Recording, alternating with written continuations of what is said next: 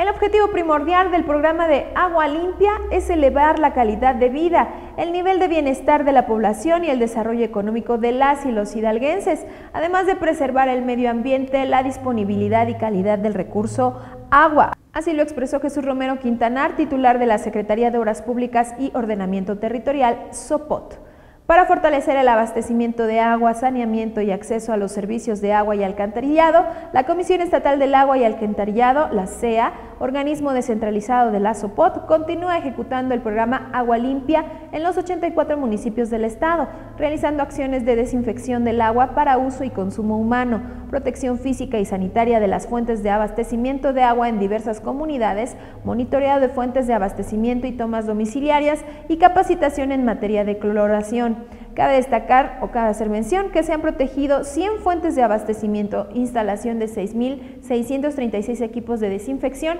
colocación de 4.211 filtros ultrafiltración microbiológicos domiciliarios, 19 equipos de gas cloro, 82 hipocloradores, 1.813 sistemas de desinfección de plata coloidal para escuelas. Se han realizado 94 operativos de saneamiento básico en localidades de alta marginación. Se han distribuido 30 toneladas de hipoclorito de calcio en los 84 municipios, capacitando a 3.600 responsables de cloración y 20.000 monitores de cloro residual libre y 600 muestras de agua potable para análisis físico, químico y bacteriológicos, aplicando más de 24 millones de pesos.